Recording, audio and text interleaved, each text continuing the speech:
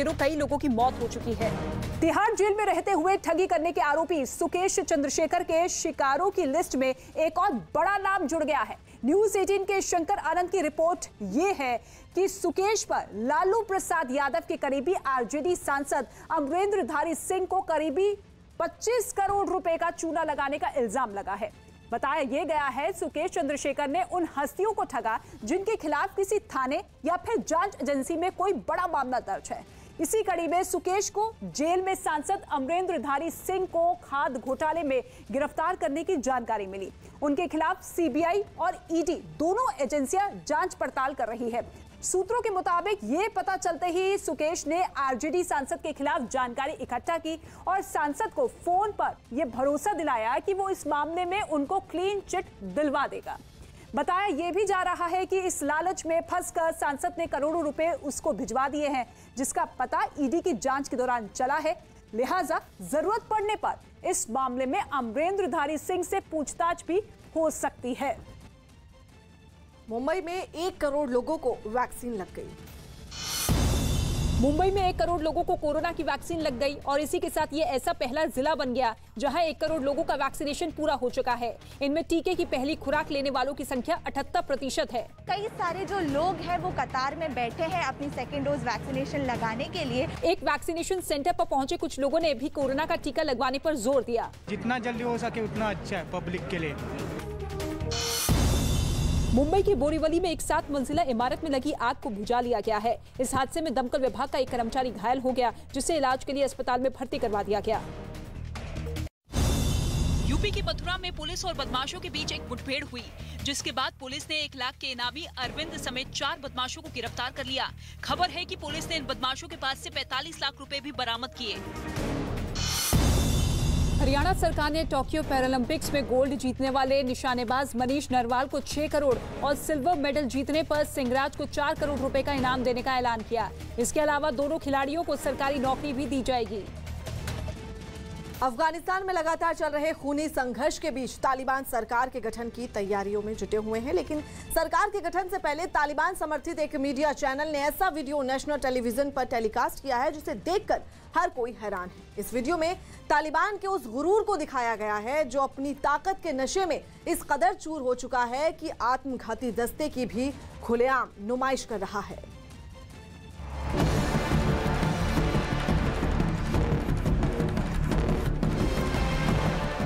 अफ़गानिस्तान में सत्ता से पहले शक्ति प्रदर्शन। कंधार में हथियारों की नुमाइश। तालिबानी ताकत का चौंकाने वाला वीडियो।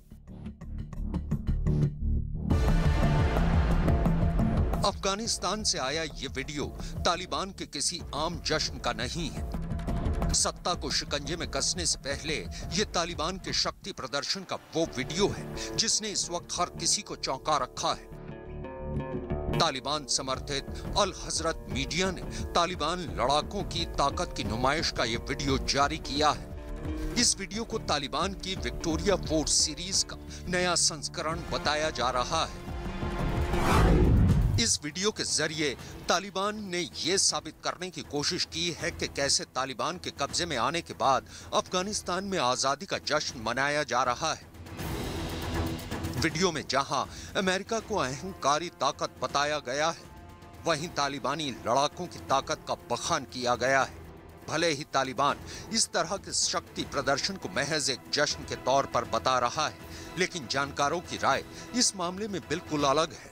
वो अमेरिका और नेटो कंट्रीज़ को, अंतर्राष्ट्रीय समुदाय को और अफ़गानिस्तान के अंदर जो उसके राइवल ग्रुप्स हैं आईएसआईएस खुरासान जैसे आतंकी जो गुट हैं, उनको ये चेतावनी भी देना चाहता है कि तालिबान आज भी इन इस तरीके की शक्ति के माध्यम से उनके द्वारा पेश किए जाने वाले किसी भी चैलेंज का जवाब दे सकता है।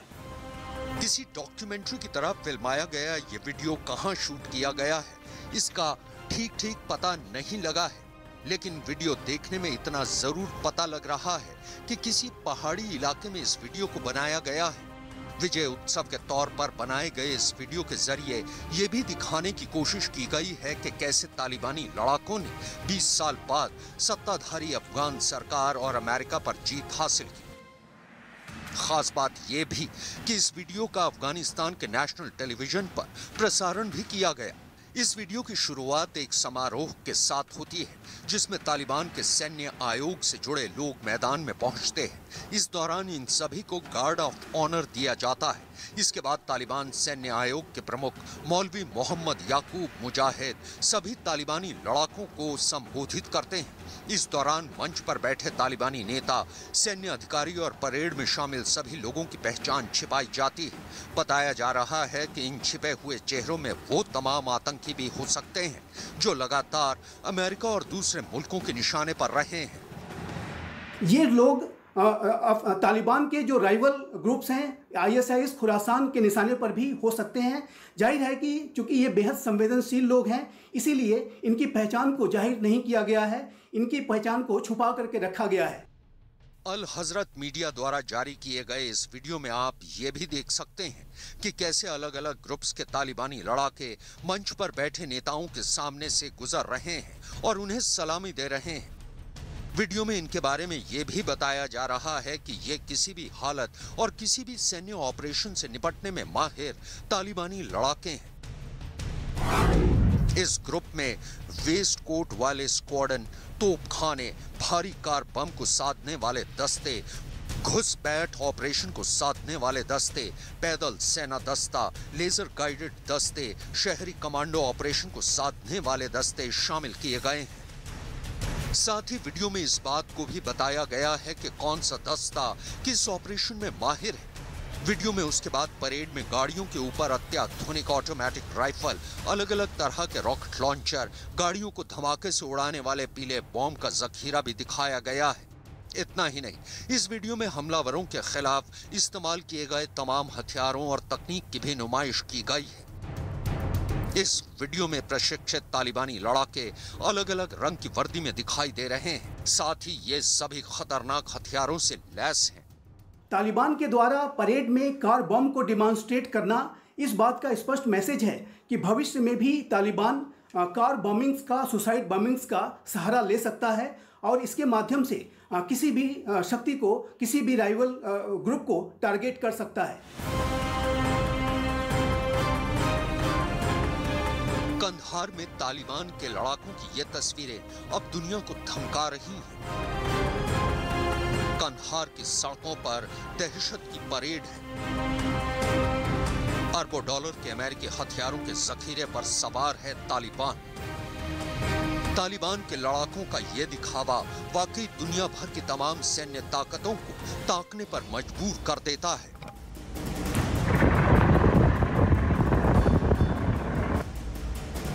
कंधार की सड़कों पर तालिबान के लड़ाके अमेरिका की उन हमवी गाड़ियों के साथ परेड कर रहे हैं, जिन्हें हासिल करना भी बड़े बड़े मुल्कों के बस में नहीं। तालिबान के लड़ाकों के हाथ में जो हथियार नज़र आ रहे हैं, उनकी ताकत का अंदाज़ा पूरी दुनिया को है। हमवीज जंगी गाड़ियों का एक लंबा सा काफिला। तालिबानी लड़ाकों के कंधों पर अब अमेरिकी असॉल्ट राइफल दुनिया के सबसे खतरनाक हथियारों में शुमार अमेरिकी जंगी हेलीकॉप्टरों की कंधार की गश्त। सलवार कमीज पहनने वाले तालिबानी लड़ाके सजे अमेरिकी कमांडो यूनिफॉर्म में आँखों पर चढ़े सनग्लास, सर पर बुलेट प्रूफ हेलमेट। अमेरिकी सेना ने करीब 9 लाख हथियार छोड़े 208 विमान और हेलीकॉप्टर तालिबान के कब्जे में। 26 हेलीकॉप्टर एक साथ खड़े दिखे सैटेलाइट तस्वीर में। 23 ए ट्वेंटी लाइट अटैक विमान 60 ट्रांसपोर्ट विमान, जिसमें C one thirty C one eighty और ए एन थर्टी टू शामिल। 33 ए सी दो सौ आठ विमान 18 पी सी ट्वेल्व सर्विलांस विमान 8 चालक रहित विमान। ये वो तमाम साजो सामान है, जो अमेरिका ने अफ़गानिस्तान की सेना को कभी मुहैया कराया था। लेकिन अब उन तमाम अरबों डॉलर के हथियारों पर तालिबान का परचम लहरा रहा है और सोशल मीडिया पर यह वीडियो वायरल हो चुका है। फोर्ब्स का दावा है कि अमेरिकी रक्षा विभाग पेंटागन के डिपार्टमेंट लॉजिस्टिक्स एजेंसी यानी डीएलए के आंकड़ों पर यकीन किया जाए तो अमेरिका अफ़गानिस्तान में करीब 9 लाख हथियार और फौजी उपकरण छोड़कर भाग आया है। जिस पर अब पूरी तरह से तालिबान का कब्जा हो चुका है। एमुनेशन और स्मॉल आर्म्स 600 हज़ार स्मॉल आर्म्स दिए गए हैं, जबकि सेना की जो, इनकी पूरी टुकड़ी का जो अभी संतुलन है, वो तीन लाख के आसपास है तो डबल से ऊपर हथियार दिए गए हैं। तो इसमें से कुछ हथियार और एमुनेशन पाकिस्तान के थ्रू कश्मीर के अगेंस्ट इंडिया के अगेंस्ट इस्तेमाल किए जाएँगे। चार ब्लेड वाला ब्लैक हॉक हेलीकॉप्टर दुश्मन पर न सिर्फ़ हवाई हमला करने में सक्षम है, बल्कि राहत और बचाव का काम करने में भी कारगर है। यह अपने साथ तोप तक ले जा सकता है। इसी तर्ज पर सी वन थर्टी विमान ट्रांसपोर्ट के काम आता है। ये हमवीज युद्धक वाहन, बम हमले या जैविक हमलों से फौजियों की हिफाजत करने में सक्षम है। मोबाइल स्ट्राइक फोर्स व्हीकल भी सैनिकों के लिए कवच का काम करता है। इस पर बारूदी सुरंग फटने का असर तक नहीं होता। ये वाहन, मशीन गन और ग्रेनेड लॉन्चर से लैस होता है। अमेरिका ने कुल 33 ब्लैक हॉक हेलीकॉप्टर अफगान सेना को दिए थे। लेकिन इनमें से कितने अब तालिबान के कब्जे में हैं, इसकी पुष्टि करने वाला कोई भी नहीं। अलबत्ता, तालिबान के पास हेलीकॉप्टर है, इसकी पुष्टि तस्वीरें कर रही हैं। और मैं समझता हूँ कि तालिबान की ट्रेनिंग तालिबान का संचालन आर्मी का और तालिबान का काफ़ी हद तक जो इंटरफेरेंस होगा रीजनली आइदर थ्रू मर्सनरीज या फिर वेपन सिस्टम्स गोला बारूद के तहत, वो पाकिस्तान उसका काफ़ी लाभ उठाएगा। दुनिया भर में किसी भी आतंकी संगठन के पास खुद की वायुसेना नहीं है। कुछ आतंकी संगठनों की पहुँच ड्रोन तक ज़रूर हो गई है, लेकिन तालिबान अकेला संगठन है, जिसके पास वायुसेना जैसी ताकत है। और तस्वीरों ने इसकी तस्दीक भी कर दी। सवाल ज़रूर है कि क्या तालिबान के लड़ाकों को इसकी ट्रेनिंग हासिल है या वाकई इन्हें ट्रेनिंग की कोई ज़रूरत ही नहीं? इनको ऑपरेट करने के लिए इनको दूसरे देशों की, जैसे कि इनके जो पाकिस्तान या चाइना इनके साथ खड़ा हुआ है, उनके टेक्निकल लोग आकर आकर अगर इन्हें सिखाएँ और इनको बताएँ कि इनको कैसे ऑपरेट करना है। सोशल मीडिया पर जारी तस्वीरों की गवाही है कि तालिबानी लड़ाकों ने अपनी वेशभूषा तक बदल ली। सलवार कमीज की जगह वर्दी दिखने लगी है। इनके हाथ में अब जंग लगे हथियारों की जगह अत्याधुनिक हथियार है। ये हथियार अफगानी फौज से छीने गए हैं या अमेरिकी फौज के लौटने के बाद हथियार लिए गए। मतलब साफ़ है कि ये तस्वीरें ज़ाहिर कर देती हैं कि तालिबान के हौसले भी बड़े हुए हैं। और उनके पास अब हथियारों का इतना बड़ा जखीरा है कि कई देश उनसे पनाह मांग सकते हैं। टोक्यो पैरालंपिक्स में नोएडा के डीएम सुहास एलवाई ने पुरुष सिंह सीएम योगी आदित्यनाथ ने सुहास एलवाई को सिल्वर मेडल जीतने की बधाई दी। और आज हम सबके लिए एक नई खुशखबरी आई है कि जिलाधिकारी नोएडा, जो इस पैरा ओलंपिक में भाग ले रहे हैं, उन्होंने आज पैरा ओलंपिक में सिल्वर मेडल प्राप्त किया है। मैं सी सुभाष एलवाई को इसके लिए हृदय से बधाई देता हूँ, प्रदेशवासियों की ओर से हृदय से बधाई देता हूँ। अभिनंदन करता हूँ। सुहास एलवाई की पत्नी रितु सुहास ने सिल्वर मेडल जीतने पर न्यूज़ 18 से खास बातचीत की। हमारे साथ बातचीत करने के लिए मौजूद हैं रितु सुहास जो कि सुहास अलवाई की पत्नी है खुद पीसीएस अधिकारी हैं। सिल्वर जीता है टोक्यो पैरालंपिक में। सबसे पहला रिएक्शन आपका? नहीं मैं भी लाइव पर ही हूँ सर सभी लाइव मैं इट इज़ ये फक्र का विषय है पूरे देश के लिए it is a proud feeling और हम सब इसको आज शेयर कर रहे हैं। ये मैं ही नहीं समझ देशवासियों के लिए गर्व का विषय है। मैम किस तरह से सफ़र अब तक का रहा सबसे बड़ा ऑफ़िस भी संभालना है ज़िले का और टोक्यो ओलंपिक में जाकर मेडल जीतना किस तरह से आप देखते हैं उनकी मेहनत को किस तरह से तैयारियाँ की? अगर थोड़ा सा ब्रीफ में उनका इस सफ़र आपको बता पाएँ it is a long journey पाँच सिक्स ईयर्स इतना जो स्ट्राइव किया है उसका इट इज़ परिणाम है। अच्छा मैम बातचीत बातचीत हुई इनसे? बात देखिए ऋतु सुहास हैं जो कि रिएक्शन दे रही हैं सुहास एलवाई की जीत पर जो कि सिल्वर मेडल टोक्यो पैरालंपिक में जीते हैं। कैमरा पर्सन दिनेश देवरी के साथ Javed Mansoori, news eighteen India, Noida. UP के पीलीभीत से एक हैरान करने वाला वीडियो सामने आया। वहाँ एक दरोगा और सिपाही पर ऑटो ड्राइवर से मारपीट का आरोप लगा। बताया गया कि मारपीट के वक्त दोनों पुलिस वाले शराब के नशे में धुत थे। जिनको वहाँ मौजूद कुछ लोगों ने रंगे हाथों पकड़ लिया और थाने ले जाने लगे, जिसका इन पुलिस वालों ने विरोध किया। वहाँ से सामने आई तस्वीरों में दरोगा लोगों से बचने के लिए धक्का मुक्की करते नज़र आए। इसी बीच वहाँ मौजूद कुछ लोग इस पुलिस वाले का मोबाइल से वीडियो बनाने के लिए कहते हुए सुनाई दिए। तभी मोटरसाइकिल सवार भी वहाँ से गुजरे लेकिन किसी की भी हिम्मत दरोगा को पकड़ने की नहीं हुई जबकि सिपाही को लोगों ने पकड़ लिया और उसे खींचते हुए थाने ले जाने लगे। हाँ, दारू पी के मार रहे हैं दारू पी के। इस दौरान इस सिपाही ने अपनी पहचान छिपाने की बहुत कोशिश की मगर लोगों के आगे उसकी एक ना चली। बहुत मारा गौतम भाई को मार रहे हैं। सड़क पर हो रहे इस हंगामे को देख वहाँ लोगों की भीड़ जुट गई। बताया गया कि ये पूरी घटना पीलीभीत के गजरौला थाने के पास की है। मामले की गंभीरता को देखते हुए ज़िले के एसपी ने फ़ौरन दोनों आरोपी पुलिस वालों को सस्पेंड कर दिया। पंजशीर पर कब्जे के लिए खूनी जंग जारी है। जितनी आसानी से तालिबान ने अफ़गानिस्तान पर कब्जा किया था पंजशीर पर कब्जा करना उसके लिए उतना ही मुश्किल होता जा रहा है, क्योंकि पंजशीर की घाटी में एनआरएफ के लड़ाके ऊंचाई वाले ठिकानों पर डेरा डालकर बैठे हैं और उनसे निपटना तालिबान के लिए टेढ़ी खीर साबित हो रहा है। एक दिन पहले पंजशीर में ज़बरदस्त जंग हुई। गोलियों की तड़तड़ाहट और बमों के धमाकों से पूरी घाटी गूंज उठी। खबर है कि तालिबान ने पंजशीर पर कब्जे के लिए हमला किया था, लेकिन उन्हें कामयाबी नहीं मिली। एनआरएफ का दावा है कि उसने 200 तालिबानी पकड़े, जबकि तालिबान के कई लड़ाकों के मारे जाने की भी खबर है।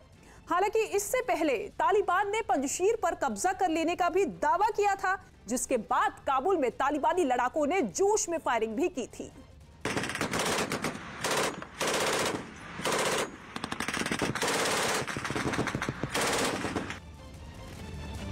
उत्तर प्रदेश में अगले साल होने वाले विधानसभा चुनाव को देखते हुए बीजेपी ने प्रबुद्ध वर्ग सम्मेलन बुलाया है।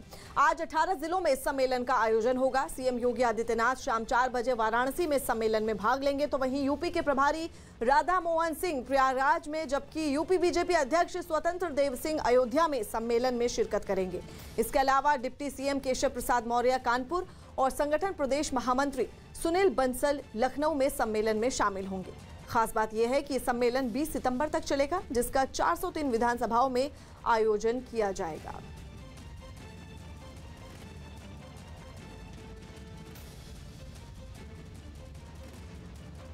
चीन में राजधानी बीजिंग समेत वहाँ के कुछ प्रांतों में फिर शुरू हुई जोरदार बारिश के बाद बाढ़ जैसे हालात बन गए।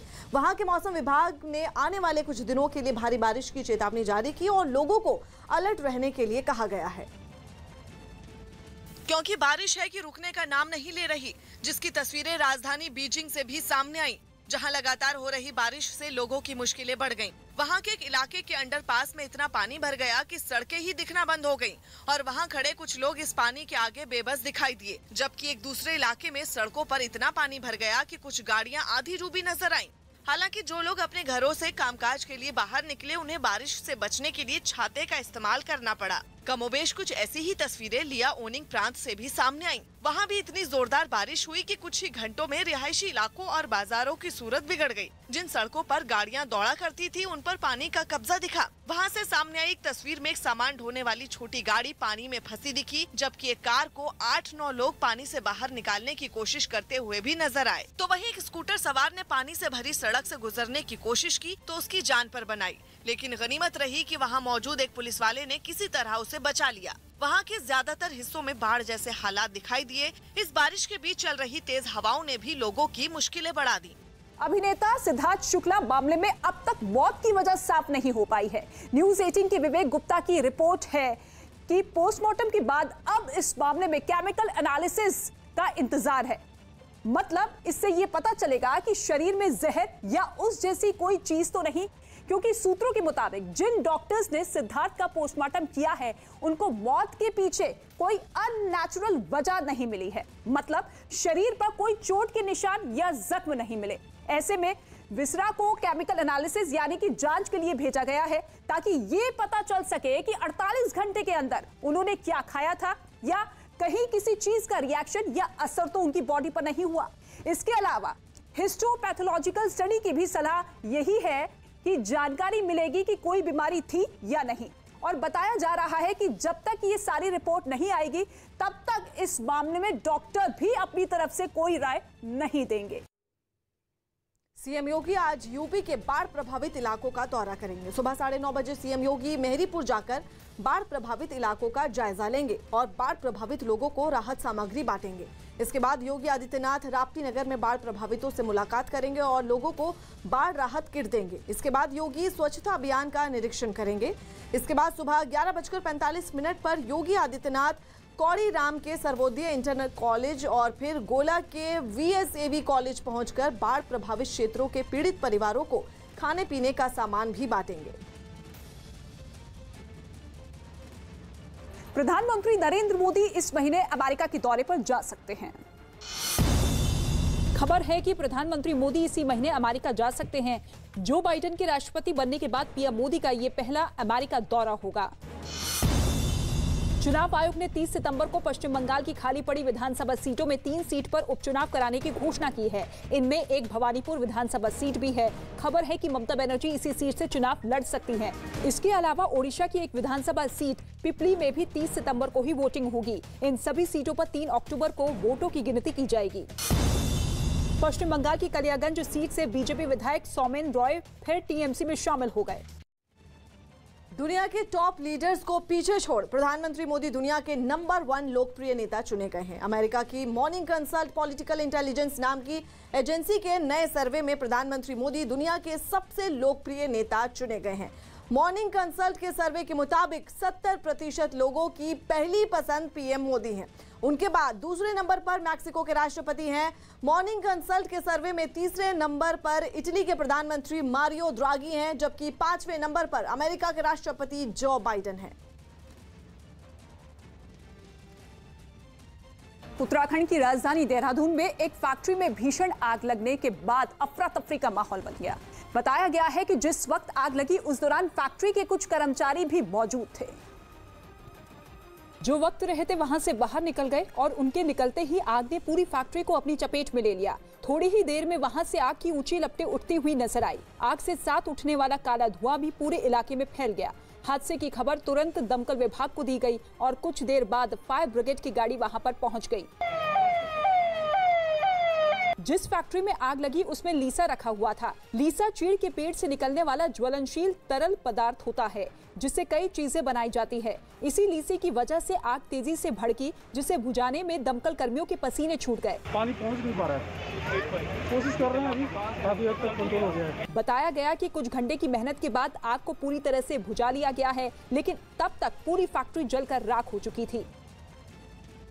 हरियाणा के पानीपत में लूट की एक अजीबो गरीब वारदात सामने आई है। वहाँ एक पिता ने अपने बच्चों की स्कूल की फ़ीस भरने के लिए लूट की वारदात को अंजाम दिया। बताया जा रहा है कि लॉकडाउन की वजह से इस शख्स की नौकरी चली गई थी, जिसके बाद आर्थिक तंगी की वजह से वो अपने बच्चों की स्कूल फ़ीस नहीं भर पा रहा था। ऐसे में इस शख्स ने एसबीआई से पैसा निकलवाने वाली एक बुज़ुर्ग महिला को अपना शिकार बनाया और उसका पैसों का थैला लेकर भाग निकला। हालाँकि बैंक के गार्डों ने पीछा कर आरोपी को पकड़ लिया। फ़िलहाल पुलिस ने मामले में आगे की कार्रवाई शुरू कर दी है।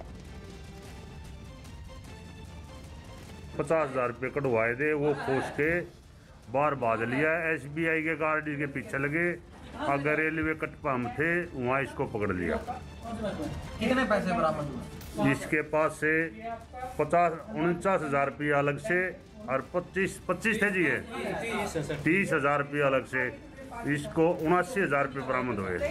उत्तर प्रदेश के मुख्यमंत्री योगी आदित्यनाथ बाढ़ प्रभावित इलाकों में पहुँचे और उन लोगों तक मदद पहुँचाने की कोशिश की जिन्होंने बाढ़ में अपना सब कुछ गवा दिया। जिसकी एक तस्वीर सिद्धार्थनगर से भी सामने आई है, जहाँ 200 गाँव बाढ़ से प्रभावित हुए हैं।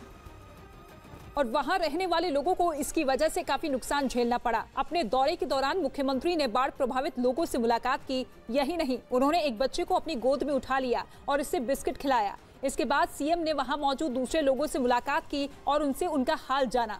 साथ ही उन्होंने लोगों को ये भरोसा दिया कि इस मुश्किल वक्त में सरकार उनके साथ है। इस आपदा में मृत्यु होती है तो इस परिवार को पीड़ित परिवार को चार लाख रुपए की सहायता तत्काल उपलब्ध हो जाए। योगी आदित्यनाथ महाराजगंज भी पहुँचे, जहाँ वो बाढ़ से प्रभावित लोगों से मिले। उनसे बातचीत की और जरूरतमंदों में खाने पीने का सामान भी बांटा। अपने दौरे के दौरान मुख्यमंत्री योगी आदित्यनाथ ने गोरखपुर के उन इलाकों का हेलीकॉप्टर में बैठे बैठे जायजा लिया, जो बाढ़ की वजह से बर्बाद हो चुके हैं, जहाँ के लोगों की फ़सल से लेकर उनके मकान सब कुछ तबाह हो गए। ऐसे हालात देखने के बाद वो हेलीकॉप्टर से नीचे उतरे और नाव के ज़रिए घूम घूम कर कई इलाकों का मुआयना किया।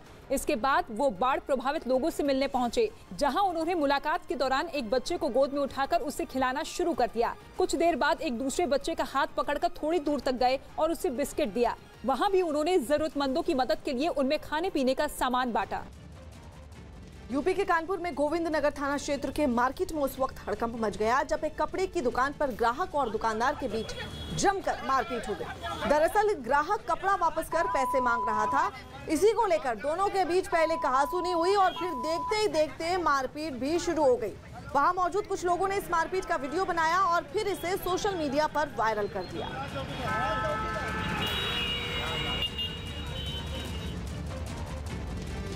फर्जी पासपोर्ट और वीज़ा बनाने के मामले में दिल्ली पुलिस ने बड़ी कार्रवाई करते हुए दर्जनों लोगं को गिरफ़्तार कर लिया है।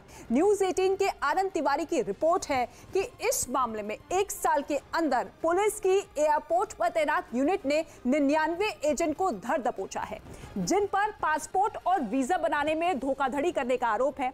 ताज़ा मामला 24 अगस्त का बताया जा रहा है, जब दिल्ली के इंदिरा गांधी इंटरनेशनल एयरपोर्ट से वसीम और उस्मान, इसके साथ ही तनवीर और सलमान नाम के चार लोग शारजहां होते हुए आर्मेनिया के लिए निकले। लेकिन वहाँ पहुँचने पर जब उनका वीज़ा चेक किया गया तो वो फर्जी निकला, जिसके बाद उन सबको गिरफ़्तार कर लिया गया। और उनकी निशानदेही पर दिल्ली पुलिस ने दो एजेंट को भी पकड़ा, जिन पर पैसे लेकर फर्जी पासपोर्ट और वीज़ा बनाने का आरोप है। बताया यह भी जा रहा है कि इस रैकेट का मास्टरमाइंड महबूब खान नाम का आरोपी है और उसी के इशारे पर यह सारा गोरख धंधा चल रहा था। लेकिन पुलिस ने स्पेशल ड्राइव चलाकर बाकी एजेंट समेत महबूब को भी धर दबोचा। इस पूरे ऑपरेशन को अंजाम देने के लिए पुलिस ने देश के अलग अलग शहरों में छापेमारी की थी। बिहार के कटिहार में गंगा नदी का जलस्तर बढ़ जाने की वजह से इलाके के दर्जनों गाँव बाढ़ की चपेट में हैं। ऐसे में गाँव के बच्चों को पढ़ाने के लिए कुछ शिक्षकों ने रोचक तरीका अपनाया। बच्चों की पढ़ाई बाधित ना हो इसके लिए शिक्षक उन्हें नाव पर ही ट्यूशन पढ़ा रहे हैं। दरअसल पानी भर जाने की वजह से गाँव के लोग सड़क पर ही झोपड़ी बनाकर रहने को मजबूर हैं। ऐसे में वहाँ रह रहे बच्चों को पढ़ाने के लिए नाव के अलावा और कोई दूसरी जगह नहीं बची है। एक तस्वीर ऐसा दिखा रहा है, जिसे तस्वीर से देखकर आप समझ जाएँगे, अब सुदूर इलाके में भी शिक्षा का क्या मत है। दरअसल, खुले आसमान के नीचे ये शिक्षा व्यवस्था एक नाव में चल रहा है, और यानी नाव में पाठशाला। वजह क्या है? जरा समझ लीजिए, ये जो मनिहारी का इलाका है, यहाँ जहाँ तक आपके नज़र जाएगा पानी ही पानी है। और इस इलाके में कभी जो ट्यूशन क्लास चलता था, और लेकिन अब उस इलाके में पूरा पानी पानी है, इसीलिए जगह कोई बचा नहीं। तो गाँव के ही जो शिक्षित युवक है, वो नाव में इस तरह का पाठशाला चला रहे हैं ताकि जो बच्चे हैं, वो पढ़ाई से दूर ना रह जाए।